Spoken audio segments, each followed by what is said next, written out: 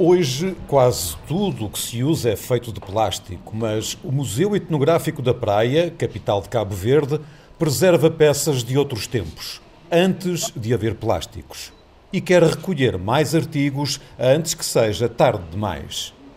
O museu tem pretensão de sair para o terreno para fazer campanhas de recolha, porque se nessa altura, nos anos 90, os objetos já estavam em perigo, hoje já já de certeza teremos mais dificuldades em recolher peças desse tipo.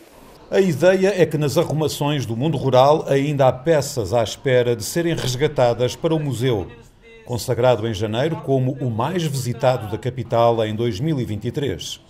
Foram quase 5.500 pessoas, mais 40% que no ano anterior. Vêm à descoberta de peças como este fogão de quatro bicos, que tem mais para contar do que artes culinárias. Ali dava para ver a tipo diferença de classe. Quem tinha mais posse comprava de quatro. Não porque levava quatro panelas, mas tinha mais poder de fogo. São peças que nós não temos uh, no nosso cotidiano hoje em dia, né? Desapareceram. Então fica a memória.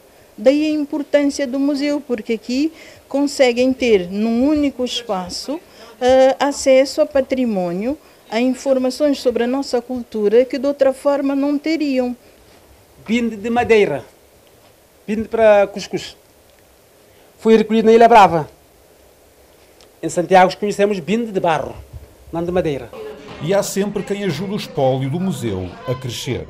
As pessoas trazem para o museu, não é o museu a ir atrás dos objetos, são pessoas que vêm aqui trazem uma peça ou outra e o museu vai incorporando. Ali que você vê a importância do museu. Quando vem visitar o museu, vai viver um pouco da história e da cultura calverdiana. O Museu Etnográfico da Praia está na Rua Pedonal do Platô, centro histórico, e quem visita leva um pedaço de Cabo Verde. Just and American is difficult to Chinese copy this one. Yeah, I imagine.